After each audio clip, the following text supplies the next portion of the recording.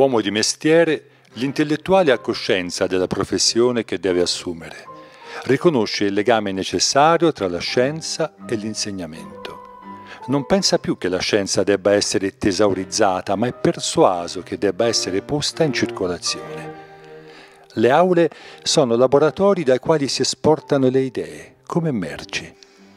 Nel cantiere urbano il professore affianca in uno stesso slancio di produttività l'artigiano e il mercante.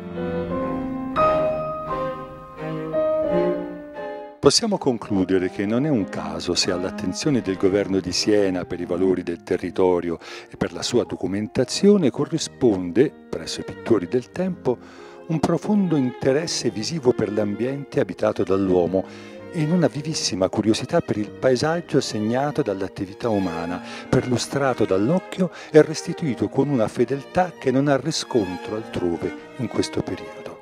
Non è un caso dunque che gli esempi più maturi della pittura di paesaggio trecentesca si trovino su due facce di una stessa parete del palazzo pubblico.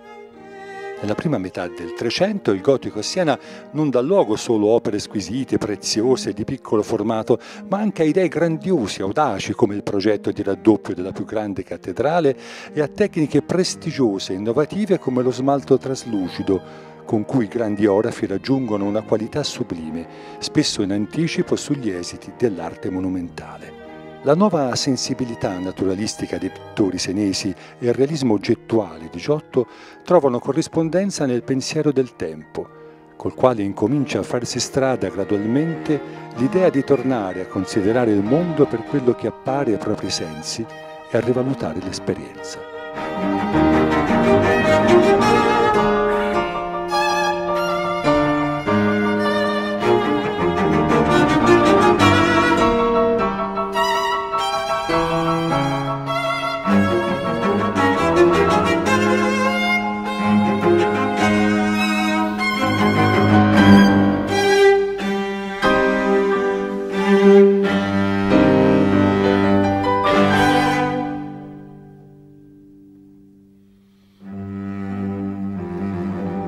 Música